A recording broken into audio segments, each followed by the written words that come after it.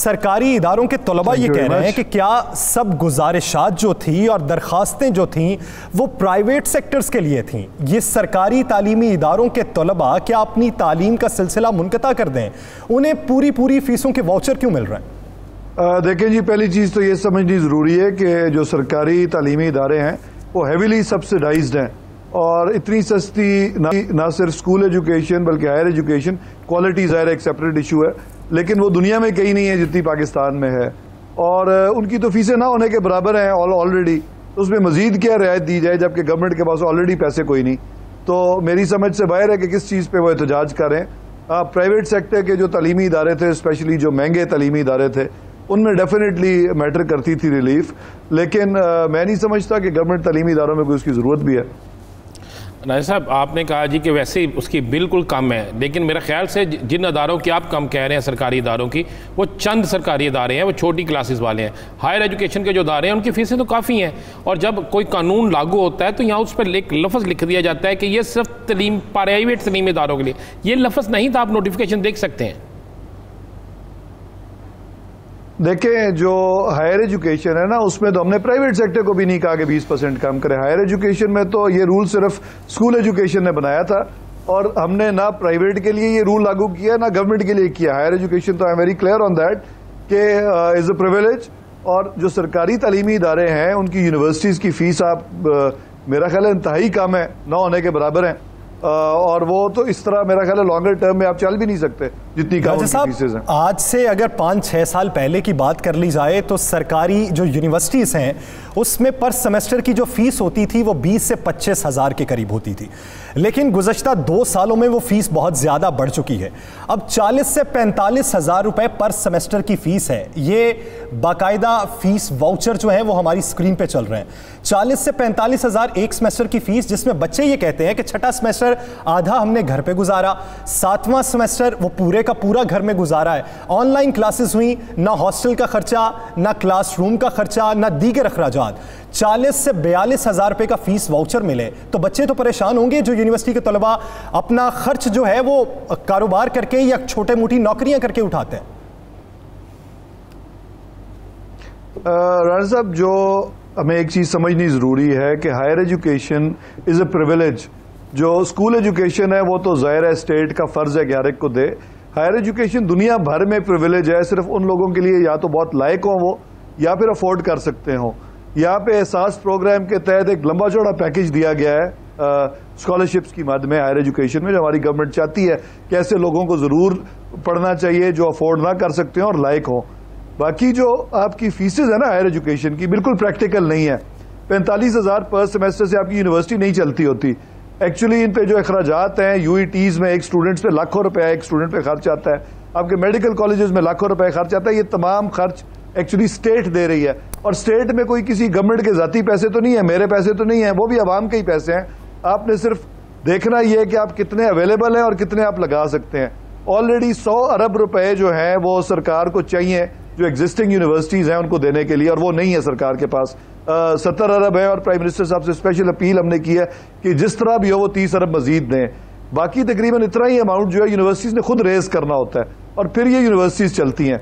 और हमें higher education में क्वालिटी की अहमियत का एहसास होना चाहिए अदरवाइज़ डिग्रियाँ छापने का तो कोई फ़ायदा नहीं है।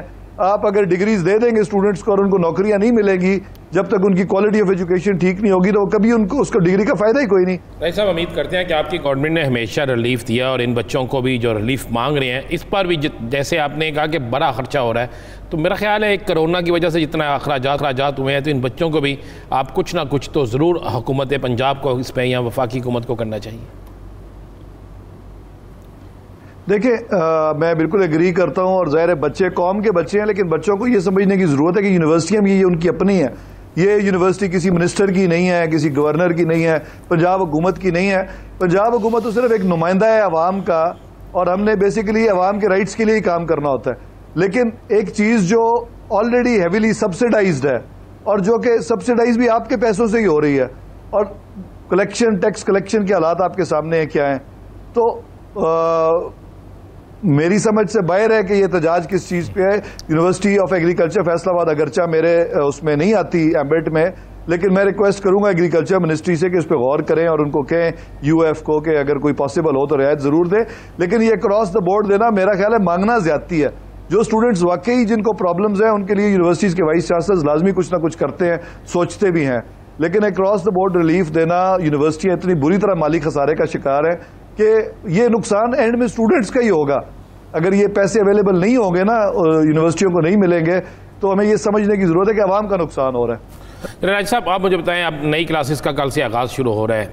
पहले जो सात दिन गुजर गए उसमें आपके पास जो रिपोर्ट आई होगी क्या रिपोर्ट रही और आप क्या वो तसली बख्श रिपोर्ट है? और आप समझते हैं कि आप छोटी क्लासेस को भी खोला जाए।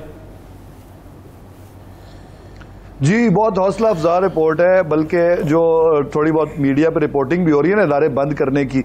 वो अक्सरियत इसलिए बंद किए गए हैं कि वहाँ पे एस ओ पीज़ की खिलाफ वर्जी हो रही थी। अदरवाइज़ अल्लाह के फजल से कोरोना केसेस की जो रिपोर्टिंग है वो हमने टेस्टिंग भी बहुत ज़्यादा की है और वन परसेंट से भी कम लोग पॉजिटिव आ रहे हैं। सीरियस बीमारी तो दूर की बात है। ये सिर्फ़ पॉजिटिव केसेस भी पॉइंट सम सेवन परसेंट के करीब हैं। और आ, आ, आ, बड़ी हौसला अफजा सिचुएशन है। इनशाला अल्लाह को मंजूर हुआ तो तमाम तालीमी इदारे मुकम्मल खोल दिए जाएँगे और इनशाला ये कंट्रोल में भी रहेगा। राजा साहब आप क्या समझते हैं? क्या वजह है कि सिंध हुकूमत क्यों ये अब समझती है कि अभी इदारे नहीं खोलने चाहिए एक हफ़्ता मजीद इंतज़ार करना चाहिए? आ, ये उनसे आज डिस्कशन भी हुई कि जब एक कौमी फैसला हो गया था और तमाम सूबे एग्रीड थे कि जब तक एनसीओसी में कोई डिसीज़न नहीं होगा तो यूनिलेटरल डिसीज़न नहीं लिए जाएँगे। लेकिन मेरा ख्याल है वो ओवर कॉशियस है मैं उनको क्रिटिसाइज तो नहीं करना चाहता। उनकी अपना सूबा है उनका राइट है जो उनकी गवर्नमेंट है वो रिप्रेजेंटेटिव है वहाँ के अवाम की। लेकिन मैं पर्सनल ओपिनियन ये है कि कोई वजह नहीं ऐसा किया जाए। और पंजाब का तो खैर बिल्कुल जो ग्राफ है वो बिल्कुल फ्लैट है इस वक्त। राय साहब एक सियासी सवाल सियासी जमात से अलग है आपका। ए पी सी हो गई। बड़ी गर्ज बर्ज की हो गई। जी सर। अब वो बड़े भरपूर तरीके से एहतजाजी मुहिम की तैयारी कर रहे हैं। और हुकूमत जो है उसके पास कोई ऐसी चीज़ है अवाम को देने के लिए कि अवाम इनके एहतजाज को मुस्रद कर दे? देखिए अवाम को सबसे जो अहम चीज़ थी, वो हम दे चुके हैं और वो शूर है। अवाम कोई नॉन इश्यूज़ के ऊपर कोई एहतजाज के लिए नहीं निकलेगा। अगर पीटीआई ने जब एहतजाज किया तो तमाम चैनल्स पे हमने पहले कोर्ट्स में गए, हमने पिटिशंस की और एक फैसले आए और हमें रिलीफ नहीं मिली। धांधली के खिलाफ तो फिर हम गए थे एहतजाज में। इन्होंने बताया कि इन्होंने किया क्या है? What what what logical options इन्होंने पहले अपनाई हैं, जिसका ये जवाब बना के ये एहतजाज करने जा रहे हैं। तो ये जो एक मफरूज़ा है कि जी इस्टेब्लिशमेंट ने इन्वॉल्व हो गई है। तो ये एक, मेरा ख्याल है, आवाम को बड़ी अच्छी तरह समझ है कि इस्टेब्लिशमेंट कितनी इन्वॉल्व हुई है और कोई ना होने के बराबर है, कोई ऐसी बात है नहीं। तो मैं नहीं समझता आवाम इनकी बातों में आने वाले। अगर ये एहतजाज लाहौर में होता है, यानी उनका ये कहना है कि तमाम सूबाई दारकूमतों में एहतजाज होगा और उसके बाद एहतजाज का दायरा कार मजीद फैलाया जाएगा। क्या पी टी आई की गवर्नमेंट एहतजाज की इजाज़त देगी? जी डेफिनेटली जो एहतजाज का हक है तमाम सियासी जमातों को, और डेमोक्रेसी के अंदर किसी को रोका नहीं जा सकता। एज लॉन्ग एज वो पुरमन हो तो क्यों नहीं इजाज़त देगी गवर्नमेंट ज़रूर देगी।